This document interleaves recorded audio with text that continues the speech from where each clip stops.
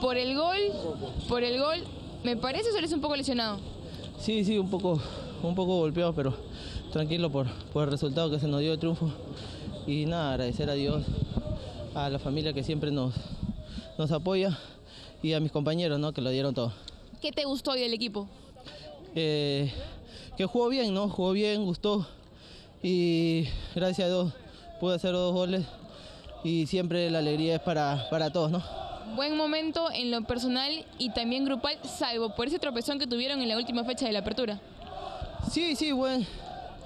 Estoy eh, en mi buen momento como profe, gracias. Eh, y también eh, en lo equipo, ¿no? Siempre dar lo mejor para poder sacar unos buenos resultados. Y Susano, gracias. Gracias a ti.